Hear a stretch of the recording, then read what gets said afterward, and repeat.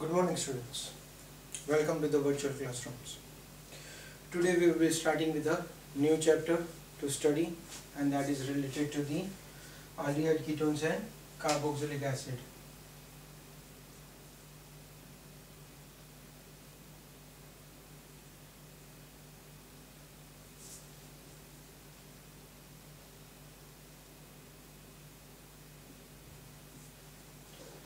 Right? Okay. Why we are studying it this particular chapter separately?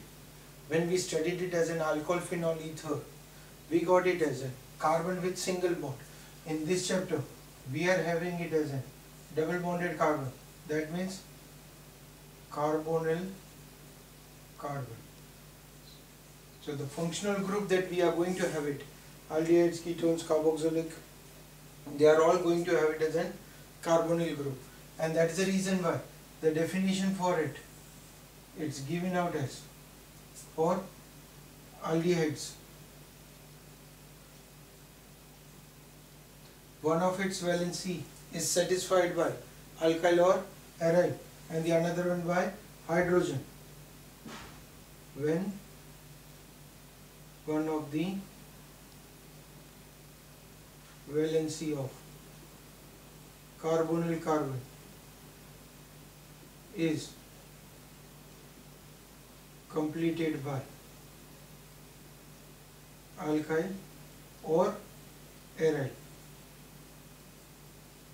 and other by hydrogen. Such compounds are known as aldehydes. Right? Okay. Now in place of that, if I want to go it for the ketones, then what is the difference that I am going to get it?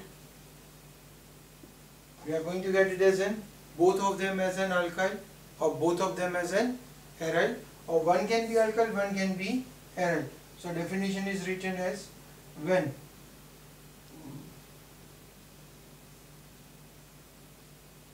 both the valency of carbonyl carbon is completed by alkyl or aryl or one as an alkyl and aryl right? Both of them can be alkyl. Both of them can be aryl one can be alkyl one can be aryl then such compounds.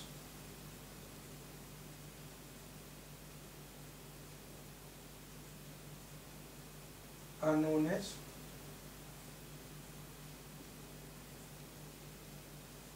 Ketones. Right while the third one we are going to get it is a carboxylic acid. That means the carbonyl group is there. One is completed by alkyl or aryl and the another one by hydroxyl group. So for that case the definition is written as when one of the valency of carbonyl carbon.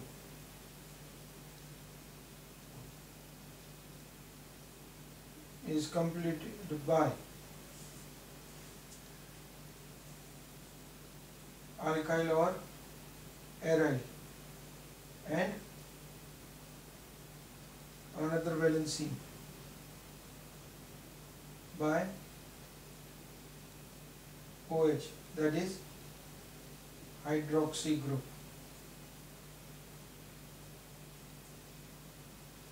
then such compounds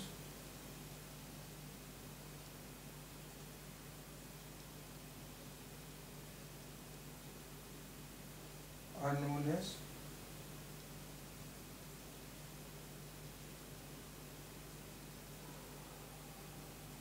carboxylic acids right So we, we are going to study about three of these functional groups in it, in this chapter.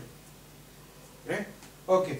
Now, why we are going to study this, these are not only the three that are having it as a carbonyl group. Additional to this three, we are also having it as an acid producing its derivative. That means from the acids, we are going to get it as a this carboxylic acid has a derivatives in the form of the carbonyl group remains as it is alkyl group remains as it is but its OH group is removed by halogen. Its OH group is replaced by halogen. They are known as acid halides. Similarly if OH group is replaced by alkoxide they are known as esters. The third one is it's replaced by OCOR group. It produces anhydrides. And when it is replaced by amine it produces amides. Right? So these four are considered to be as a derivatives of the carboxylic acids. They are also having it as a carbonyl group present in them right? So something related to them also. Maybe in the form of chemical properties of carboxylic acid or maybe in the form of preparation of the carboxylic acid we will be also having certain reactions of these four functional groups right? Okay the detail that we are going to study it's of aldehyde ketones and carboxylic acid. Okay now while we will be studying the chapter aldehydes and ketones they are the functional group isomers of each other. And their chemical properties are also almost same to one another. Even the preparation methods are also almost same to one another. And that's the reason why aldehydes and ketones we are going to study together. Maybe it's IUPAC maybe it's preparation physical properties or chemical properties. We will study together. And then later on after completion of aldehydes and ketones we will be going through carboxylic acid and its derivatives right? So first of all today we will be studying only IUPAC nomenclature of aldehydes and ketones. Now we know it for the nomenclature of aldehydes and ketones. We are having it as in same properties.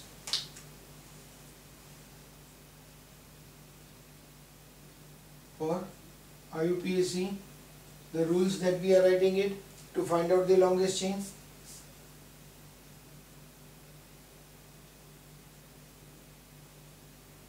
they are themselves going to be the highest reactive so additional to them to find.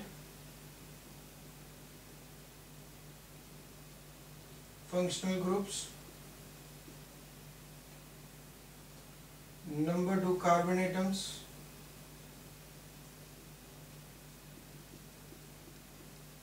In such a way that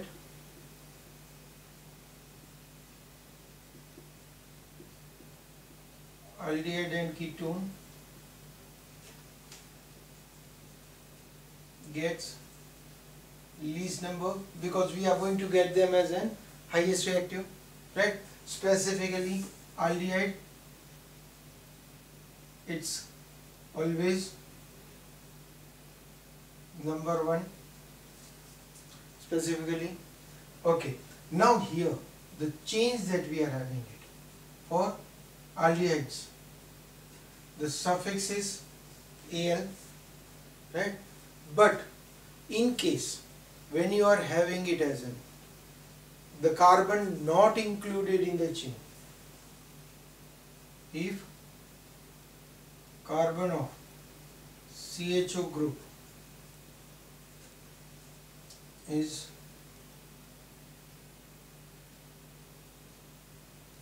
included in the chain then suffix will be written as carbaldehyde for it you will be having a suffix of carbaldehyde right So that you have to be careful. The second one is for the ketone, the suffix we are going to write it as on. But again for ketones, if ketones are necessary to indicate as prefix then they are written as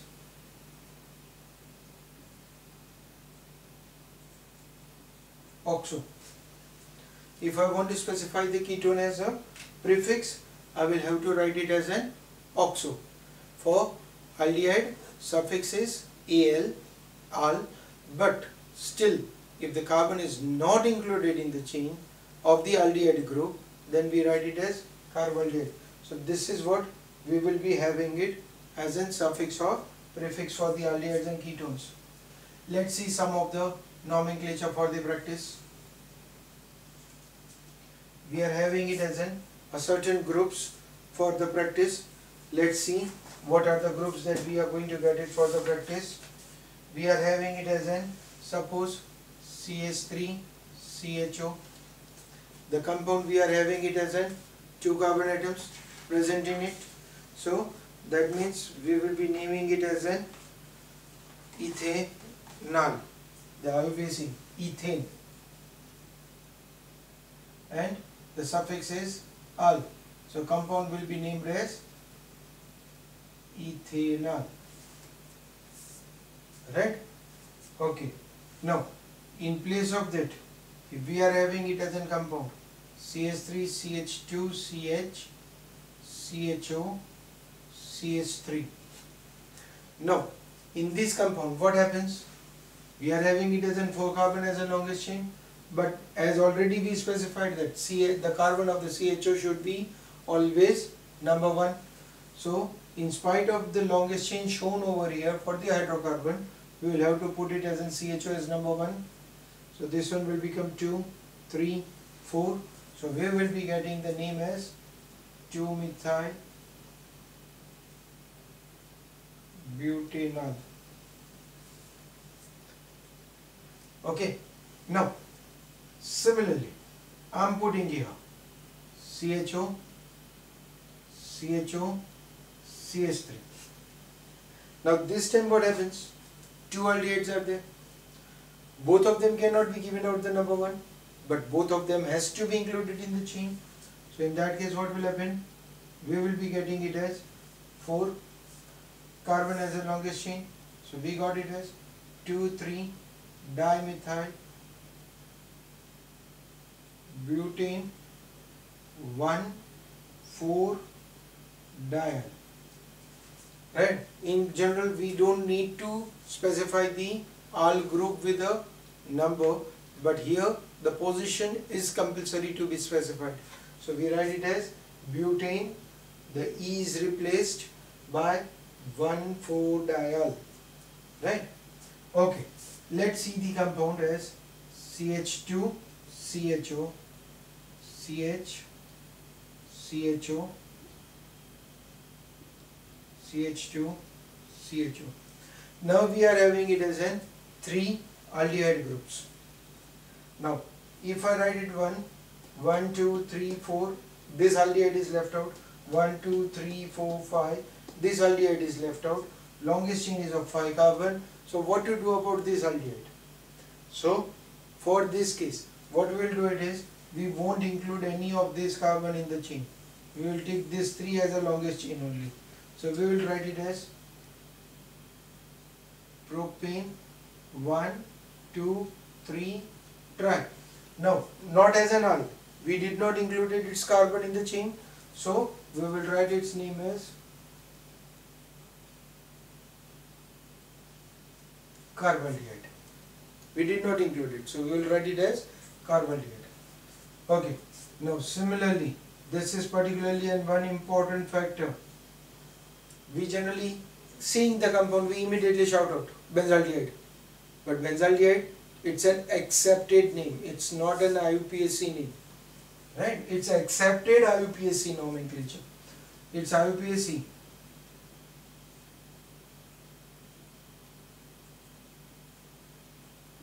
It's a benzene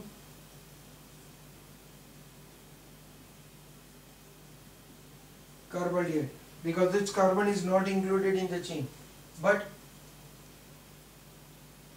we have accepted it as benzaldehyde. So its accepted IUPAC name is benzaldehyde. Okay. Okay. Let's see some more compounds.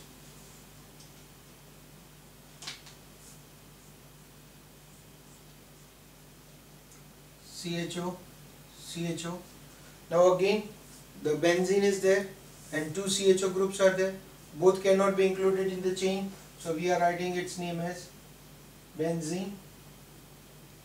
This is one, two. So benzene one, two, di carbaldehyde. Okay. Now, in spite of that, if I am having suppose CHO with Cl, then for this case, chloro is a prefix. On the second position, benzene, carbaldehyde, it's an actual IUPAC name, but in place of that, as we know that we accept it as a benzaldehyde, we also write it as 2-chloro benzaldehyde. Both of them becomes correct because benzaldehyde is an accepted as an IUPAC. Right? Okay. Now let's see for the ketone. For the ketones, if I go for it, minimum 3 carbons will be must. For ketones, minimum 3 carbons because it's a RCOR group. So 2R means there are 2 carbons and CO. So ketones, they always starts with propane. On is a suffix for it. The position I want to indicate it, it's a propane 2 on.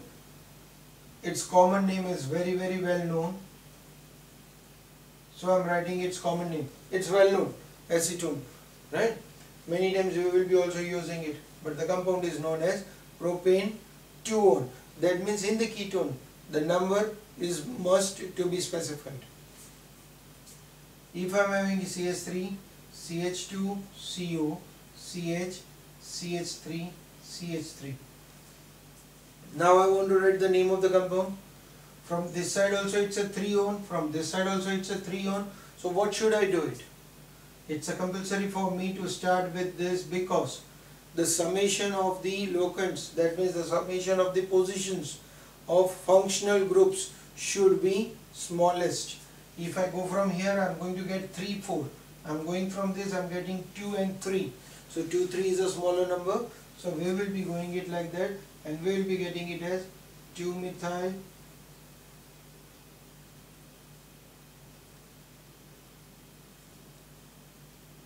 23 ohm. Right? Okay. For benzene again this is very well known. But it's a common name. This is not the IUPAC name. Its IUPAC will be written as phenyl. We will be writing it as an phenyl with ethanol.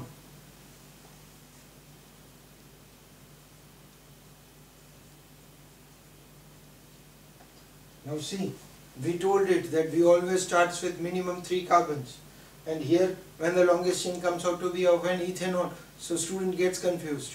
So make it uh, clear that this is the alkyl chain, so it's written out as ethanol. This is the main uh, two different chains. And we are having it as a more than three carbons right? Phenyl ethanol. Similarly if we are having it as a we name it as an diphenyl ketone as a common name but its IUPAC name will be written out as phenyl benzenol. The IUPAC name of the compound will be given out as phenyl benzenol. Okay. So now from your textbook make it as a practice for the given different compounds draw the structures write the names write the names draw the structures both vice versa will be must for you to write for the IPC. the next one we are having it is a structure of aldehydes and ketones. Now, when we are talking about the structure of aldehydes and ketones, we know that we are having it as a carbonyl group. Maybe any aldehyde or maybe ketone. In both the cases, we are having it as an C double bond O. That means this carbon, it's going to be sp2 hybridized. So the carbon double bonded one is going to be sigma one is going to be pi bond so in aldehydes and ketones.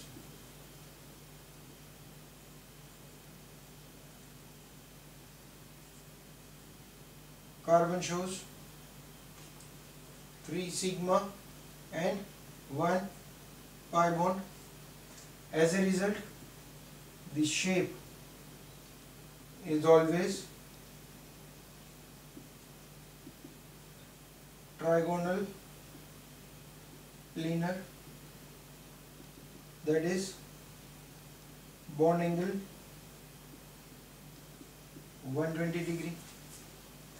As it is an sp2 hybridized it will be trigonal planar with bond angle 120 okay. At the same time this carbonyl group. It's having it as a pi bond present in it. It's having it as an pi bond present in it. What will happen? This pi bond may go for resonance and it creates the oxygen with a minus plus charge minus and this comes out to be as an the structure sorry uh, minus plus and the compound has an resonating structures. By using this lone pairs it can go for resonance also right?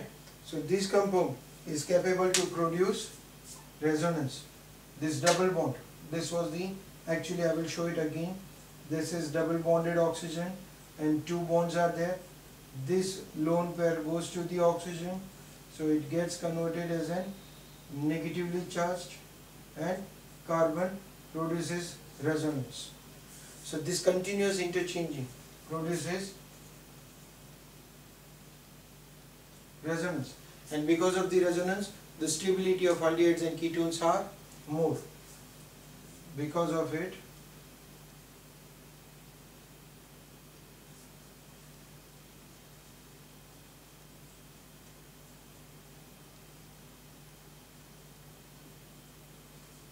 stability of aldehydes and ketones are more right? So we studied it about IUPAC and electronic structure. Make sure that you go for the practice of it. In our next lecture we will be studying it different methods of preparations of aldehydes and ketones in which some of them we have already studied in our previous lecture. Anyhow we will discuss it in our next lecture. Thank you